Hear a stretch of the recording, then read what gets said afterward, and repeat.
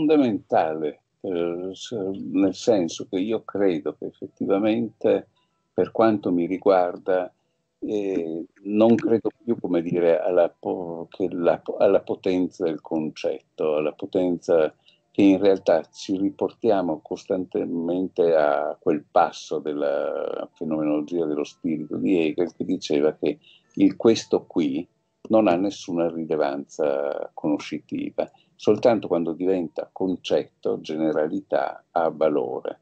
Me, Bataille nel 1937 reagisce a questa affermazione di, di, di Hegel, dico, attraverso, fatta da Kojève appunto in questa lezione, protestando la sua soggettività inutile protestando c'è questa, questa, cosa, questo residuo soggettivo che resta completamente fuori, fuori da, da, da, dal campo.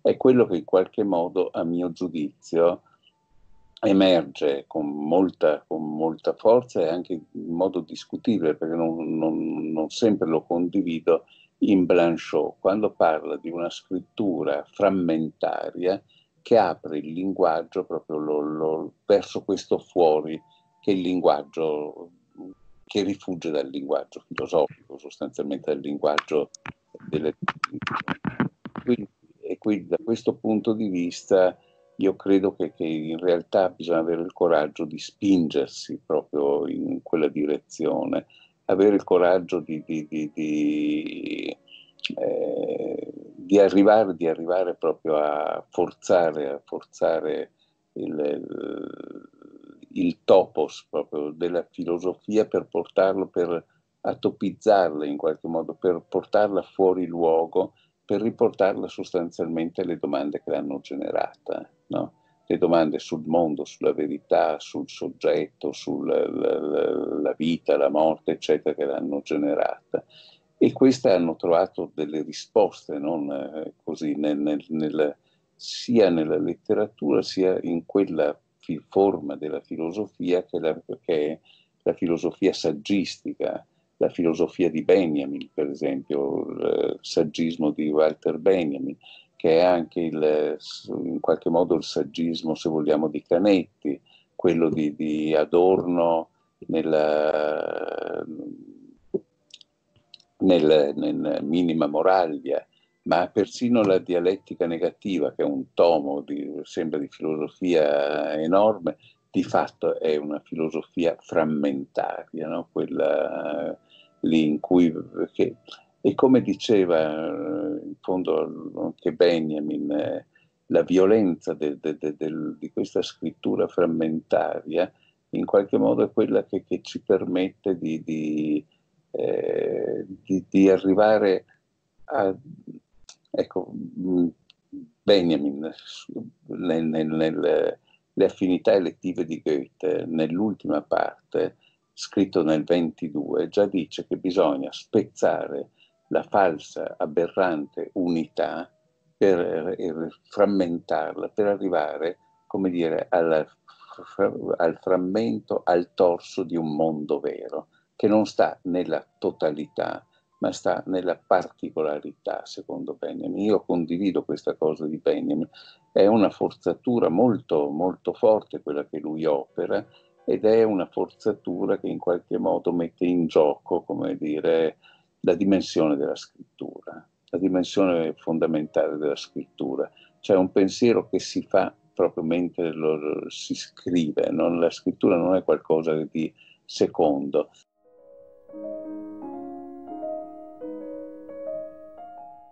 il problema, ehm, c'è il libro di battaglia, l'esperienza interiore, ci sono delle cose, l'esperienza interiore, come possiamo parlare dell'esperienza interiore? Come io posso comunicarle quello che sento? Ecco, lì allora bisogna arrivare a questa scrittura, a questa dimensione della scrittura, forzandola, eccetera, in cui se io non posso spiegare, posso mostrare quello che sento. Cioè, era il grande tentativo di, di, Baudelaire nel mio cuore messo nudo, io non riesco a dirlo, ma vedi le cicatrici del mio cuore e quelle ti diranno quello che io ho provato, vissuto, eccetera, eccetera.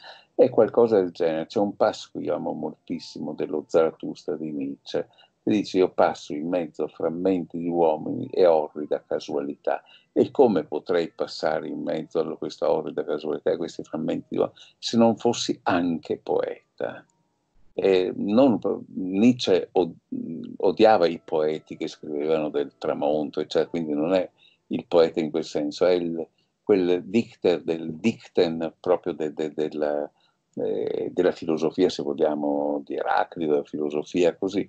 C'è questa, questa, questa possibilità di, di, di, presentare, non risolvere la contraddizione, la frammentazione. Questo lo voleva fare Hegel alla fine della fenomenologia dello spirito. Hegel dice che la contraddizione si sana senza lasciare cicatrice, sparisce tutto, tutto, tutto.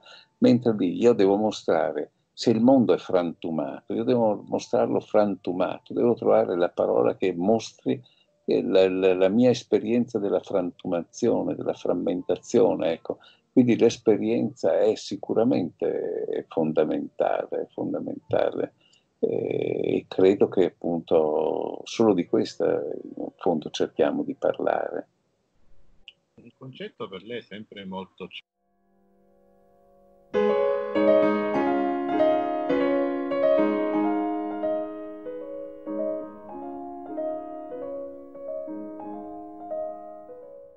No, no, certo, la questione del tempo, io ho appunto dedicato un libro intero questa alla questione del tempo, io credo comunque che eh, costantemente il, il, potere cercherà di, di, di, di imporre il suo tempo e costantemente questo tempo continuerà ad aprirsi, questa è la cosa eh, le temporalità ormai sono molteplici, vivono una, le une accanto alle altre e tendono, come dire, a esplodere.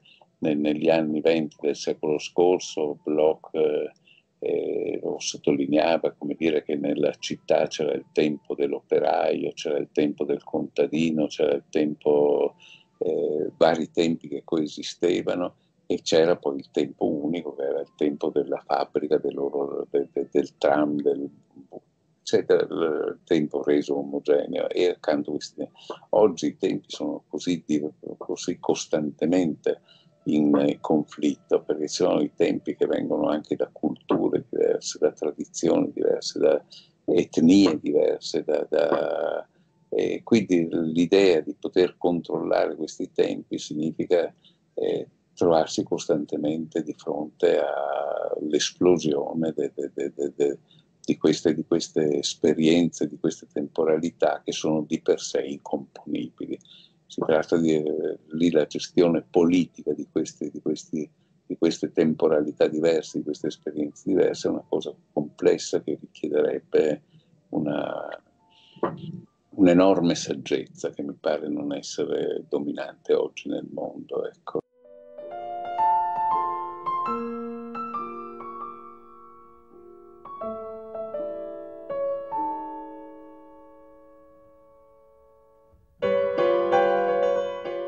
Dire che secondo me Agamben su questa cosa forse ha scritto delle sciocchezze. Se devo dire, io considero Agamben un filosofo eccezionale, considero Homo Sapiens un libro strepitoso, andando all'inizio proprio così, Stanza è un libro bellissimo come Infanzia e Storia, così, sono libri bellissimi e quindi ho una stima sconfinata di Agamben, ma quando dice che il eh, coronavirus è un complotto per eh, dominare il, mondo, eccetera, eccetera, questo mi permette di dire che è anche eh, tragicamente sciocco nei confronti di quello che sta succedendo. È vero, e questo è vero, che dentro questo spazio il, il potere ha, ha cercato, come dire, di limitare quelle che sono le libertà democratiche, questo non c'è dubbio. Già dirmi di stare a casa è un limite, ecco. e, e questo emerge costantemente, non c'è stato un grande dibattito su questo, perché sono posizioni piuttosto marginali queste, così Cacciari ha un certo ascolto perché ha una rubrica che, su cui ogni tanto torna, sull'Espresso, eccetera, eccetera, altri non hanno le stesse possibilità, sono più silenti, eccetera, e quindi eh, questa, questa, questa dimensione, come dire, è una dimensione reale, una dimensione che, che, che, che torna come tentazione. L'altro giorno c'è stato, come dire, in, in, in, una delle regioni italiane, il Veneto, uno che è arrivato dal Kosovo, un imprenditore, si è rifiutato di, di entrare in quarantena e ha eh, contaminato, ha,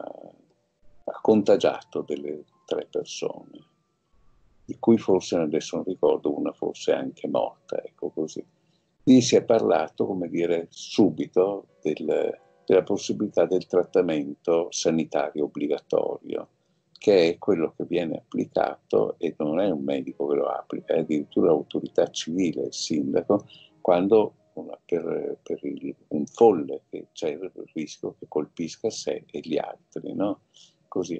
Ora, siccome perché è considerato incapace di intendere di volere, che non può decidere quindi se essere o meno curato. Ecco e allora c'è il trattamento sanitario obbligatorio.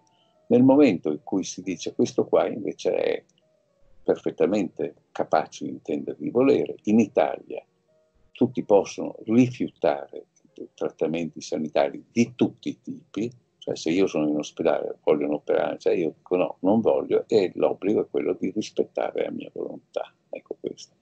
Allora uno può dire, tu hai cont- contagiato queste persone perché non hai rispettato, io ti accuso, ti metto, ti do una multa, ti metto in galera, ma non posso, come dire, usare lo strumento del trattamento sanitario obbligatorio, perché questo significa che io ti esproprio anche della capacità di intendere, di volere.